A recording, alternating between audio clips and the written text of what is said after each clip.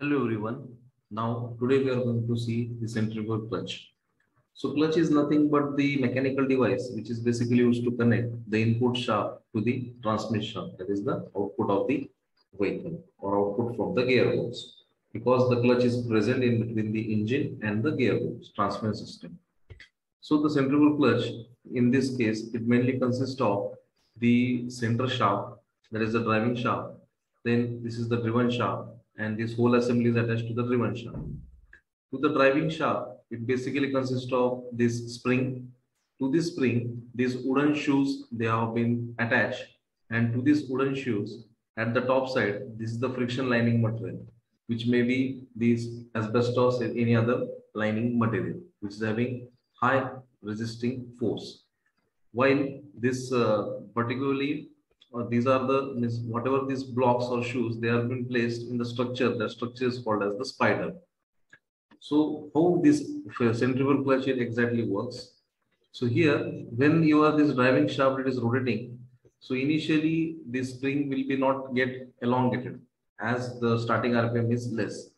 But then afterwards when this driving shaft attain one certain speed means in, this is the first case where clutch is not engaged and this is the second case now here your driving shaft has attained one constant speed and at that speed the spring tries to move outward. Means these blocks will try to move through outward with respect to each other from the center.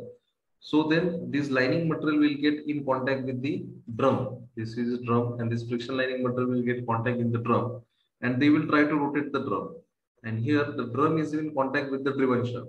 So then you will get the output motion or output speed. So in this way, now your clutch will be in engaged position. So this in this in this way, our centrifugal clutch it works.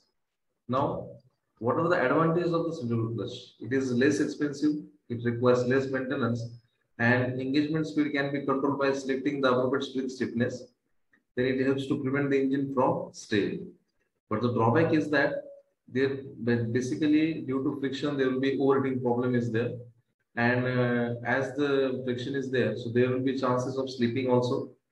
And uh, engagement of that blocks the friction lining material depends upon the speed of the input shaft that is the driving shaft. And the torque transporting capacity of the centrifugal clutch is very less. So most of this centrifugal clutch is used in mopeds.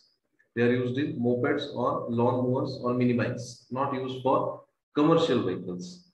So these are the applications as well as advantage and disadvantage of the centrifugal clutch. Now we will see it's working. Hi guys, uh, welcome back to howmachineworks.com. With the help of this animation, let's learn how a centrifugal clutch actually works. So on the screen you have a centrifugal clutch animation. Let's identify the components. That's the clutch housing connected to the transmission in blue. Then we have the centrifugal clutch shoes inside then we have the engine shaft that's drive from the engine reaching the centrifugal clutch.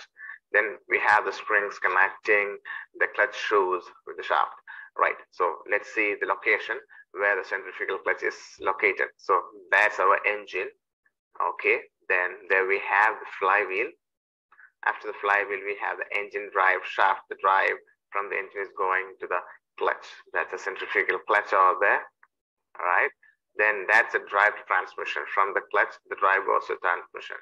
And finally, our transmission is there. So let's have a closer look, a zoom look at uh, the centrifugal clutch. So that's a centrifugal clutch, right? And inside we have uh, the clutch shoes, the springs and the shaft uh, from the engine. So that's uh, here. Okay, that's the location. So now let's uh, see further when the engine uh, rotates, the RPM goes through uh, the engine shaft. Again, let's see, that's the engine shaft. It rotates there inside the centrifugal clutch. That result in the centrifugal clutch shoes also to rotate because the shaft is connected to it. So as it rotates, what happens? There's a clutch housing connected to the transmission that's in blue, but you can see the clutch shoes and the clutch housing are not connected because there is a gap so as there's a gap, the drive from the engine, which is reaching the clutch shoes, is not going uh, to the clutch housing. Thereby, it's not going to the transmission. So uh, this is how it looks like. This is the clutch shoes rotating inside. And as the RPM increases, uh, the, due to the centrifugal force, you can see as it's rotated, there's a centrifugal force. The clutch shoes actually get more closer to the clutch housing and further as the speed increases, it gets in contact with the clutch housing. And that's how the drive from the engine which is reaching uh, the clutch shoes is getting transmitted to the clutch housing and thereby it goes to the transmission. This is due to the centrifugal force. That's why it's called as a centrifugal clutch. So let's see uh, in more detail. The engine is getting uh, the drive. So the engine shaft here rotates like this and that drive is getting to the shaft inside uh, the centrifugal clutch.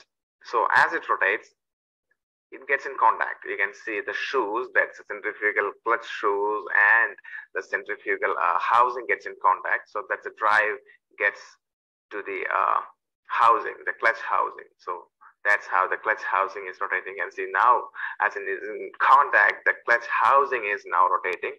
And as the clutch housing rotates, you can see here the clutch housing rotates. The drive from the housing as it is connected through this particular shaft, the transmission, that green shaft, that's a clutch shaft rotates and that makes the drive reach the transmission finally. So that's how a centrifugal clutch actually works. So I believe you understand it's working. For more videos, please click the subscribe button so that you'll get. Thank you.